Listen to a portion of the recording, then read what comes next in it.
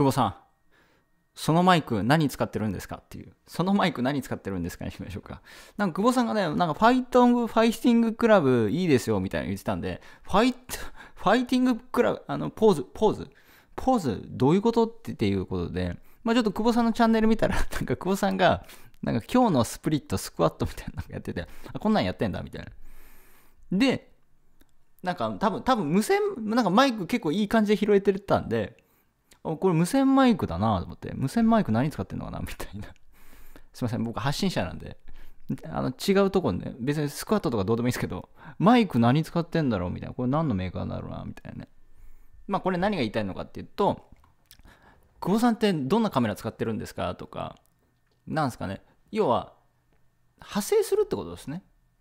うん。なんかその、まあいろんな視聴者がいるんで、僕もいろんな視聴者の一部で、別にそのスクワットとかそういうのファイティングポーズに別に興味ないんだけどマイク結構綺麗に撮れてるなっていうそこには興味出るんですよね。うん、でそれでマイク何使ってるんですかみたいな。うん、なんかまあまあもちろんあとは久保さんを知っているっていうところも一つもちろんあるんですけどね。知らなかったらそこに行き着かないので。なんだろう。例えばあのうん。まあネットビジネスの僕は発信をしてるんですけどもまあ、全くその関係ないというか、関係あるっちゃあるかもしれないですけど、例えばこの前デスクツアー、久保さん、デスクツアー結構ちょ、ちょっとニーズやっぱ、ま、回りますね。デスクツアー、デスクツアーね、ちょっとあのアップしたんですけど、何百回か回ったな、これ。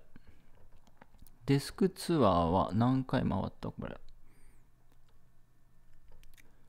デスクツアー今ね、376回ぐらい回してますね。はい。デスクツアーデスクツアー376回回ってますね。要は何すかね、なんか、まあいろんなものにみんな興味はあるので、いろいろやってみるといいと思いますけどね。久保さんだと直近だと政治のなんか動画撮ってますけど、直近だと回ってるのが政治の動画で、どれだ？せいあ、す、あ、スシロー回りましたね。スシローのやつは300回ぐらい回ってますね。うん。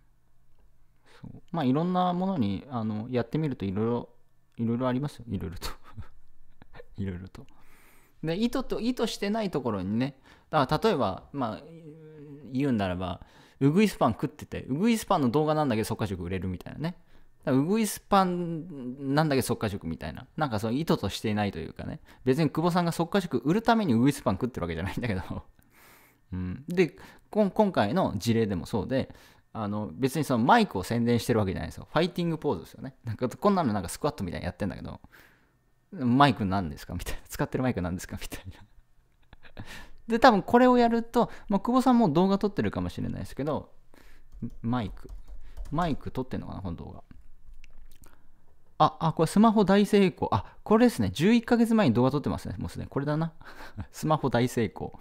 ピンマイク、Bluetooth、これだな。あ、わかる。ですね。スマホマイク失敗しませんでしたよ。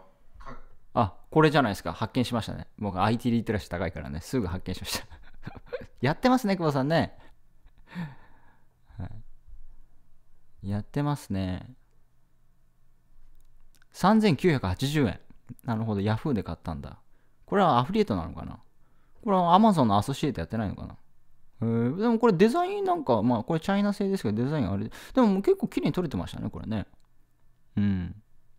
いいんじゃないですか。あ、これケースもあるんだ。ケースもあるんですね。うーん。あ、結構、あの、レビューも4.45じゃないですか、Yahoo の。へえ。結構音質良かったですね。うん。僕もね、今ね、実はそのマイク使ってるんですけど、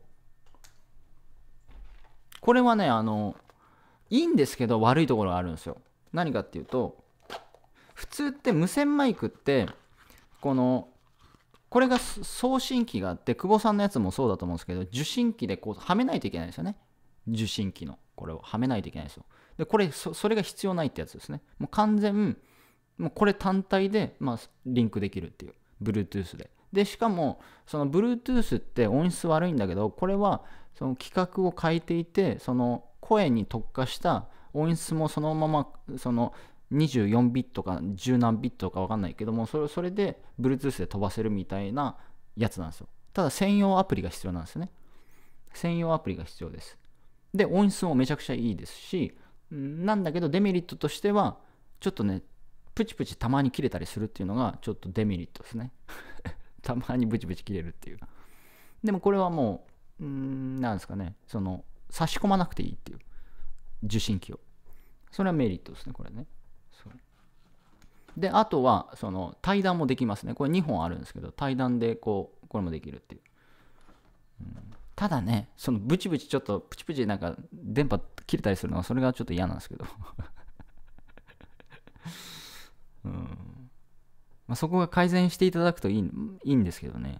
うん、なるほどね。もうすぐ。これ50回ぐらい再生されてますね、久保さんね。